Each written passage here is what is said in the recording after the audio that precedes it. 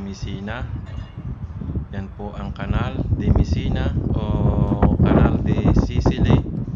Yan po dumadaan ang barko papuntang Mediterranean, mga international na barko.